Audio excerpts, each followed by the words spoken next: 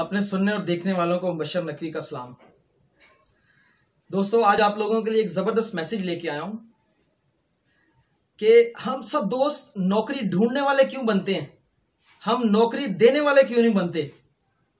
कभी आप लोगों ने ऑब्ज़र्व किया है? मैंने ऑब्ज़र्व किया है कि ए ग्रेड स्टूडेंट जो अपने सेशन में ए ग्रेड ले रहे होते हैं, वो सी ग्रेड स्टूडेंट्स के नीचे काम कर रहे हैं। वाई क्यों? किस वजह से? ऐसा क्यों है? ये तब्दीली ऐसी क्यों है? ये सब कुछ देखने के लिए मेरे YouTube channel success with Mubashar को सब्सक्राइब करें।